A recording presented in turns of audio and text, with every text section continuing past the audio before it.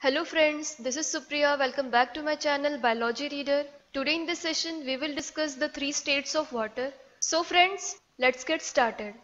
Friends, we know that water is a tasteless, colorless and odorless inorganic substance and it is composed of two major elements that are hydrogen and oxygen.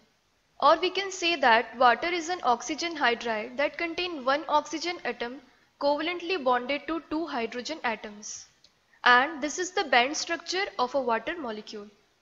Friends, when we think of water, we generally get a picture of water in a liquid state.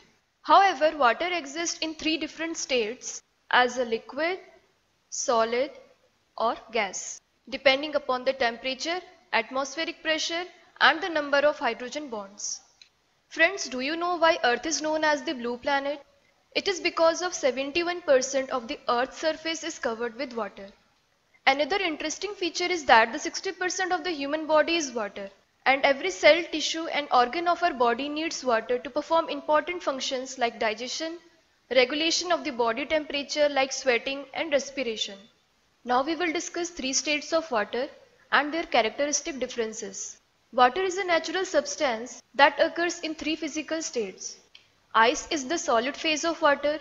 Water also exists in a liquid state and water vapors constitute the gaseous state of water. Friends, we can easily differentiate these three states of water based on two important properties. One is the intermolecular spaces between the water molecules and secondly through the number of hydrogen bonds. Water in its solid phase contains very less intermolecular spaces because the water molecules in ice are compactly arranged or we can say that the water molecules are closely packed due to which an ice possesses a rigid shape. And ice contain more number of hydrogen bonds, generally 4 per water molecule. Then water molecules in liquid phase contain large intermolecular spaces where the molecules are firmly arranged or we can say that the water molecules can slide over one another to some extent.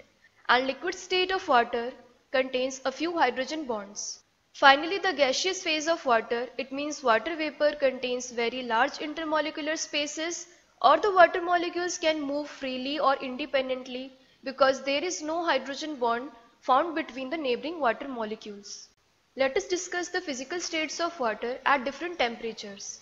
The freezing point of water is 0 degrees Celsius or 32 degrees Fahrenheit. Therefore, when the temperature of water falls to 0 degrees Celsius or below, water begins to freeze into an ice or we can say the water transits from a liquid to a solid phase.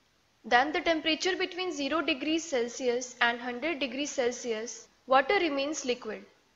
After that the melting point of water is 100 degrees Celsius or 212 degrees Fahrenheit. Therefore when the temperature rises up to 100 degrees Celsius or above, water turns into vapor or we can say that the water transits from a liquid to a gaseous phase. We will end up this video session by discussing the phase transitions in water along with the examples. Freezing is a liquid to solid phase transition and we can easily demonstrate this mechanism by refrigerating the liquid water in an ice tray. Then melting is the reverse phenomenon or process in which the solid ice converts back into liquid if kept at the room temperature. Therefore, melting is a solid to liquid phase transition. Then vaporization is also called evaporation or liquid to gas phase transition. When the water is heated up to a boiling temperature or above, it begins to form vapors or steam. Condensation is a reverse of vaporization process in which the water vapors condense back into liquid water. Formation of cloud is a very common example of condensation where the water vapors in the atmosphere reach the condensation nuclei and transform into liquid droplets to form clouds. Therefore, condensation is a gas to liquid phase transition.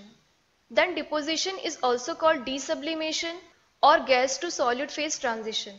A very common example of deposition is the frost formation where the water vapors in the atmosphere meet a temperature below 0 degrees Celsius to form frost or tiny ice-like crystals. At last, sublimation is a solid to gas phase transition. Dry ice is a good example of sublimation that sublimes at the room temperature. So friends, this is all for today. To know this topic more in detail, you can visit our official website that is biologyreader.com. Link is provided in the description box. So friends, If you find this lesson useful, do like, comment, share and subscribe my channel and don't forget to press the bell icon for more videos.